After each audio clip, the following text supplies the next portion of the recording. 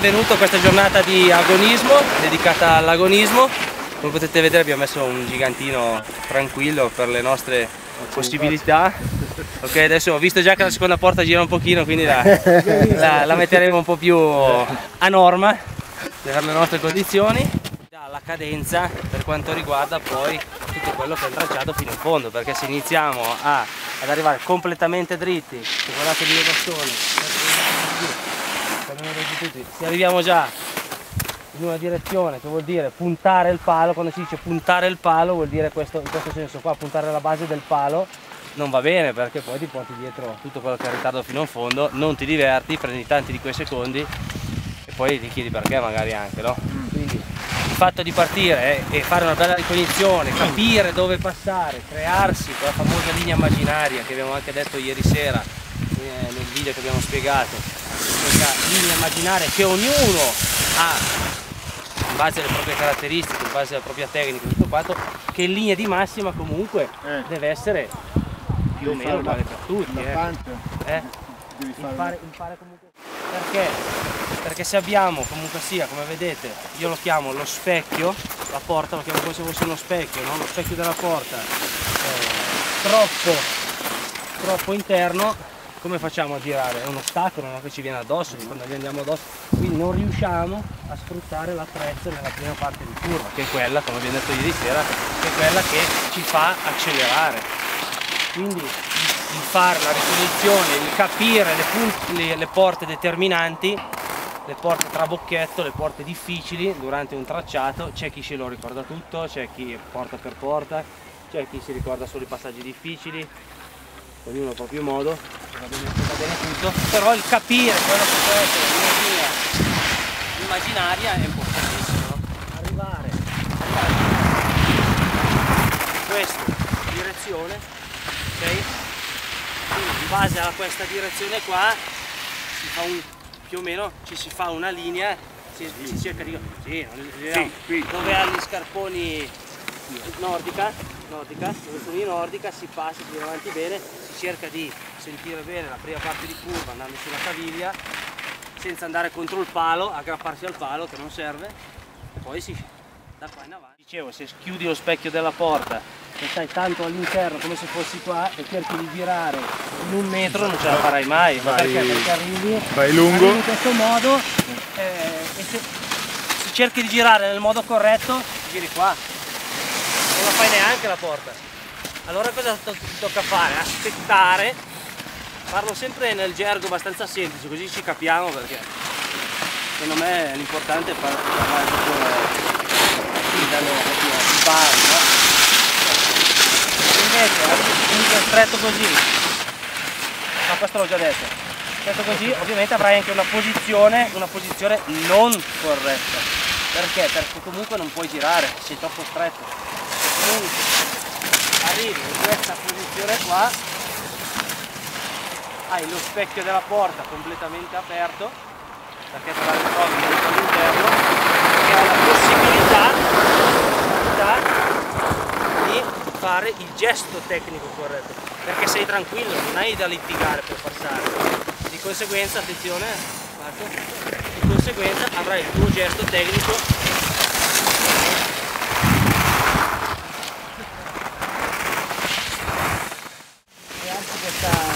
linea immaginaria che dico sempre all'interno di un tracciato, perché quella che alla fine fa da fuori. Non è toccare il palo, non è andare dritto, non è dire vado più dritto possibile ci metterò sicuramente meno tempo in più, no? No, a maggior ragione quando sono arrivati questi attrezzi qua, carvi, race carve, da gara, tutto quanto, quindi con una sciancratura il fatto di riuscire a sfruttarla il più possibile lo dimostra un Ligeti che durante una discesa di 60 eh, di 60 porte, di 60 curve, toccherà 10 pali, però vince le gare. Questo è, è proprio l'esempio lampante, no? Cosa vuol dire sfruttare un attrezzo? Lui lo sfrutta benissimo. Quello che, che crea lui è appunto questo sistema che si è creato, questo sistema di, di base che è lo sfruttare il materiale dentro un contesto obbligatorio come com'è, la zona gigante e le varie discipline. Andiamo! Il mio secondo obiettivo sarà quello di non toccare un palo. Ok?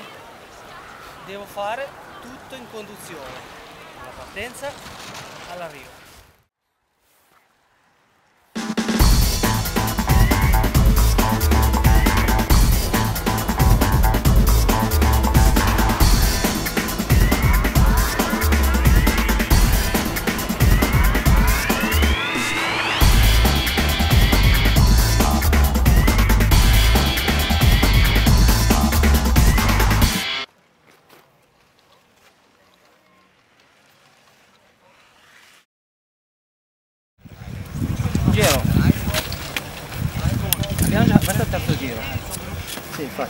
Bisogna migliorare. ok? Sono Cosa vuol dire? sviluppati. Eh sì, perché comunque ti porta anche l'attrezzo che hai a, a richiedere una performance un po' più sportiva, no? Ok? Poi ce l'hai, si vede che insomma il livello è buono, molto buono, molto buono, molto alto. Quindi il cercare di ancora più la consapevolezza, l'ascoltarsi quando si scende, senza cercare, non c'è cronometro, non c'è niente di niente, cerchiamo veramente di, il nostro obiettivo è migliorare, andare via da qua e dire, oh, riesco a fare con la stessa velocità delle carvatone con degli angoli, delle arti inferiori che veramente non sono mai riuscito a. Ecco, Questo è il tuo obiettivo, perché c'è poco da correggere sinceramente, c'è parte alta buona, il movimento comunque la c'è, la cadenza c'è, si vede l'apertura e chiusura degli angoli, va bene, tutto bene. L'unica cosa che ti chiedo, visto che ce l'hai dentro, non, non, non, tagliare. non tagliare lì dentro dritto sul palo. Ma in realtà non è quello che tagliarsi il palo, è che poi io sbagliando la prima mi porta fuori e Ma quindi non apri- riesco più. Dammi retta, fai un metro in più, tanto non c'è cronometro, fai anche un metro in più nella seconda curva. La prima è quella della partenza, la seconda porta. Fai un metro in più. Apri già magari la prima porta, invece di partire e andare lì dentro dritto, aprila già un un po' di apri più. un pochino, mezzo metro, poi invece di andare nella porta, vai, vai un po' in là e poi la prendi E tutta da dietro. che, che. Prendila tutta dietro, vedrai che dopo ti dà un'altra cadenza, hai quel mezzo metro in più in apertura, eh, lo specchio della porta, e vedrai che arrivi giù e fai, meno fatica.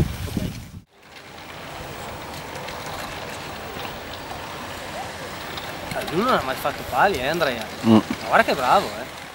Vedi? Vedi che pian pianino si vede, ogni tanto li- ti, salta dentro la curvettina che ti prende bene, ah Sì, è bellissimo, quando poi fai wow! Calmo, lascia perdere le porte, tanto Sì, hai visto, è tracciato regolare.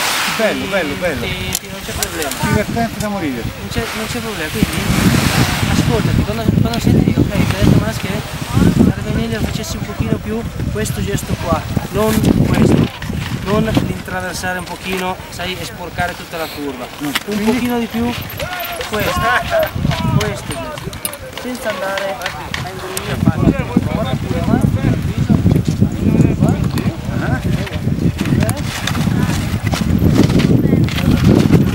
C'è che c'era anche un po' più larga, eh. Sì, eh, sì. Gli archi inferiori, eh? Gli archi inferiori che entrano comunque in curva, ok? Butta un pochino anche l'interno. Non, non troppo, non troppo. Non troppo, perché già il materiale gira di per sé. Ok? Poi chiaro adesso con la velocità si non ti tengo Certo, guarda, sì. Quindi è all'esterno che si Ma cerca di, di, di sentirla, di sentirla, la, la tibia, sempre, la tibia, eh? Do- Dobbiamo finire la giornata, eh, che insomma c'è il male alla tibia, ok? Ok. Devi metterti la cremina, quella antidolorifica, eh?